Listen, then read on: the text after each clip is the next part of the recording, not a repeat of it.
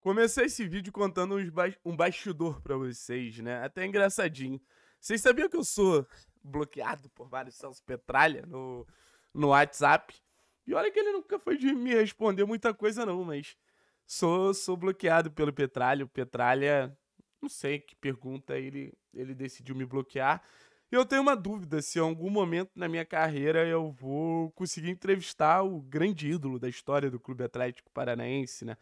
Grande personagem da história do Clube Atlético Paranaense, porque eu acho que daqui para frente a tendência cada vez menos, até pela questão da saúde, o Petralha dar menos entrevistas do que ele vinha dando, ou que em algum momento ele já acabou concedendo, né?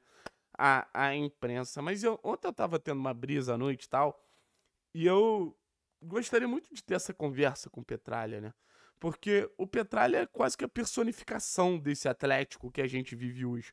Óbvio que existia um Atlético pré-Petralha, e eu não vou falar nem que ele era melhor ou pior, era um Atlético diferente, e o Petralha potencializou esse Atlético a máquina que a gente viu hoje de ser o primeiro clube brasileiro fora do eixo de arrebentar a história dos 12 grandes e tudo mais, eu acho que em algum momento tende até virar filme, sabe?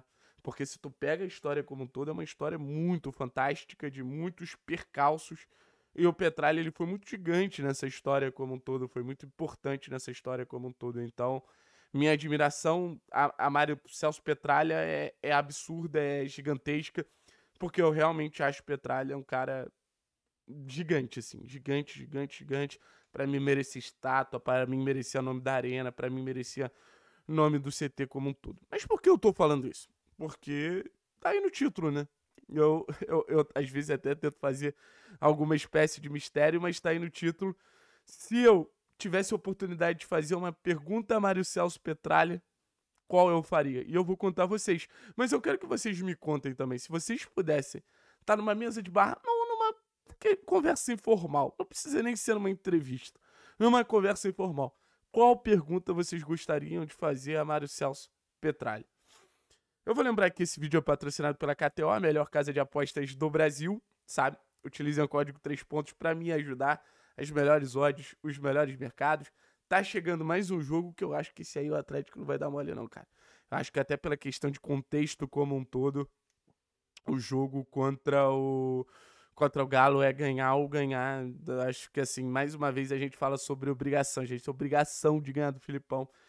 E apostar na KTO, você ainda ganha um dinheirinho por causa da vitória do Atlético. Então, assim, o gostinho é muito mais saboroso, podemos dizer assim, sabe?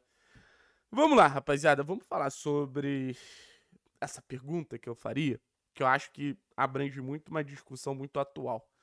Se eu tivesse Petralha frente a frente na minha, na minha cara aqui, eu perguntaria sobre treinador para Mário Celso Petralha.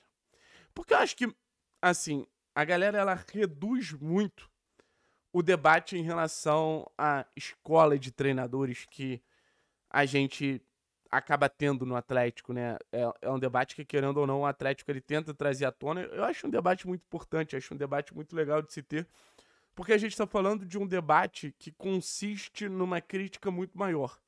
Quando um clube de futebol ele se bota numa posição de fazer a função que a CBF deveria fazer, eu acho que a gente está falando de um clube que ele mostra mais uma vez uma grande falha no sistema. O futebol brasileiro ele não tem um processo de revelar profissionais de qualidade como você tem na Argentina, como você tem na Inglaterra, como você tem na Espanha, como você tem em Portugal. Então, acho que o grande ponto dessa questão como um todo é a falta de confiança que o Petralha, mesmo não sendo um cara técnico, ele tem em relação ao mercado. E eu posso falar um negócio para vocês? Ele tá certo. A torcida do Atlético clama por técnicos, né? Não considera os profissionais que o Atlético ele acaba dando chance como profissionais que a gente pode chamar de gabaritados o suficiente, por exemplo. Mas assim, será que o Roger Machado é gabaritado o suficiente? Será que o Jair Ventura é gabaritado o suficiente? Será que o Zé Ricardo é gabaritado o suficiente? A gente teve dois caras que não eram medalhões, mas também não eram tão jovens recentemente no futebol do Atlético. Um foi Alberto Valentim, outro foi Fábio Carilli. Você ficou satisfeito com esses caras de mercado? Eu não fiquei. Eu não fiquei. O Alberto, a gente sabe que até o atleticanismo dele fez a gente dar um pouco mais de sequência ao trabalho, não sabe? Mas foi um técnico que foi muito mal. E o Carilli, ele ficou pouquíssimos dias, né?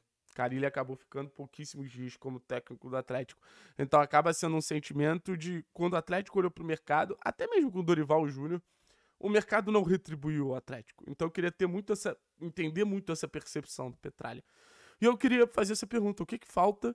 Ou por que você ainda não investiu num técnico de peso? E a pergunta dele é, é ele poderia me dizer assim uma resposta muito óbvia. Cara, porque eu não acho que faça tanta diferença. Eu acho que o treinador não faz jogo. Eu tentei montar um clube com capaz de. com capacidade de, independentemente do treinador, a gente ter uma ideia, uma estrutura, condições para se manter forte. Mas eu talvez reformularia a pergunta. Eu ia perguntar assim pro Petralha: não te dá curiosidade de pelo menos em um momento investir num técnico de grife, podemos dizer assim? Porque eu acho que, cara, mesmo tendo todas as convicções que a gente falou sobre essa escola de treinador, Furacão Academy e tudo mais, cara, é um sentimento de, cara, será que em nenhum momento passa na cabeça do Petralha? E pode ser que ele me responda o seguinte, cara, já passou e no final das contas eu achei que não valeu a pena. É, e tudo bem, eu seria respondido, mas eu fico tentando entender, cara, será que, por exemplo, trazer um Kudê em algum momento não passou na cabeça do Petralha, trazer um, um técnico Cara, não precisa ser um medalhão, mas alguém um pouquinho mais consolidado, que talvez desse um pouquinho mais de segurança ao cargo. E olha que eu nem sou contra apostar em jovens treinadores, olha que eu nem sou contra apostar em, em, em treinadores que possam dar uma resposta um pouquinho mais demorada e, e, tudo mais, mas eu fico tentando pensar o que passa na cabeça do Petralha, porque futebolisticamente, o Petralha, quando ele vai dar entrevistas, ou ele é muito áspero ou ele é muito sucinto. Eu queria ter essa visão do esporte, a visão de negócio do Petralha, acima da média, acima de qualquer patamar, acima de qualquer crítica que eu possa vir fazer. Mas acima da média, pra caralho. Mas a partir do momento que a gente fala de dessa visão futebolística, eu queria entender. Porque talvez o Petralha não seja nem tão, tão ignorante como a gente acredita no mundo do esporte, né? Muita gente bota o Petralha, ah, mas o Petralha não sabe nada de futebol. Não acho que seja por aí. Acho que o Petralha deve ter uma boa noção. Talvez questões táticas e tudo mais, não, mas uma boa noção do que é o mundo do futebol, que é um mundo muito mais amplo do que a gente imagina, né? Mas essa questão de, cara, será que em nenhum momento se tem uma ideia de, de investir pesado? Ou ao longo da história do Atlético, sabe? Porque, por exemplo, Paulo Autori. Paulo Autori é um cara pesado. O Filipão é um cara pesado, mas não foram investimentos consideráveis. Eu tô falando daquele treinador que tá no hype, aquele treinador que tá vivendo o melhor momento da vida dele. É esse cara que eu bato curiosidade se o Atlético chegou a cogitar ou não.